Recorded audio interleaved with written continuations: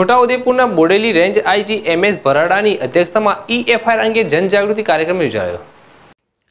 હવેથી વાહન ચોરી કે મોબાઈલ ચોરીના અરજદારોને પોલીસ સ્ટેશનમાં ફરિયાદ નોંધાવવા પોલીસ સ્ટેશનમાં જવાની જરૂર નથી, કારણ કે ગુજરાત સરકાર દ્વારા ગુજરાત પોલીસને ડિજિટલ કરવા માટે ઈ એફઆઈઆરની એક સુવિધા ઉપલબ્ધ કરાઈ છે. ઈ એફઆઈઆર કરવા માટે સિટીઝન પોર્ટલ કે ગૂગલ પ્લે સ્ટોર પરથી એપ ઇન્સ્ટોલ કરી અરજદાર જાતે જ ઓનલાઈન ફરિયાદ નોંધાવી શકે છે.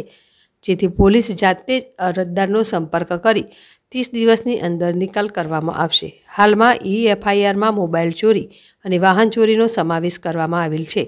મોબાઈલ અને વાહન ચોરીની ઘટનામાં કોઈ જાતની જોર જબરજસ્તી ન કરેલી હોવી જોઈએ.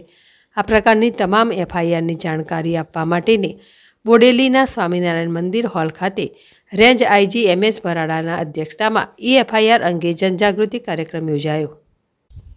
છોટાઉદેપુર જિલ્લા પોલીસ અધિક્ષક ધર્મેન્દ્ર શર્મા, નાયબ પોલીસ અધિક્ષક એવી કાટકડ, નાયબ પોલીસ અધિક્ષક જીજે ચાવડા, બોડેલી પોલીસ મથકના પીએસઆઈ એ એસ સરવૈયા સાથે અધિકારીઓ તેમજ નગરમાંથી આગેવાનો, વેપારીઓ તથા તમામ શાળાઓના વિદ્યાર્થીઓ મોટી સંખ્યામાં ઉપસ્થિત રહ્યા હતા. અલ્લા રખા પઠાણ, જેડેશ ટીવી, છોટાઉદેપુર.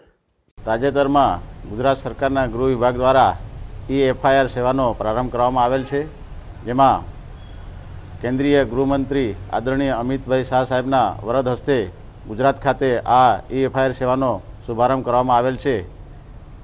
આજરોજ છોટાઉદેપુરના બોડેલી ખાતે સ્વામિનારાયણ હોલમાં આ ઈ એફઆઈઆર સેવા અંગે જાગૃતતા આવે અને વધુમાં વધુ લોકો આનો લાભ લઈ શકે એ અંગેની જાગૃતિ માટે રેન્જ વડા શ્રી બરાડા સાહેબ તથા જિલ્લા પોલીસ વડા શ્રી શર્મા સાહેબની પ્રેરક ઉપસ્થિતિમાં કાર્યક્રમ યોજવામાં આવેલ, જેમાં બોડેલી તાલુકાના આગેવાનો તથા બહોળી સંખ્યામાં શાળા કોલેજના બાળકો એ ઉપસ્થિત રહી આ કાર્યક્રમને સફળ બનાવેલ છે.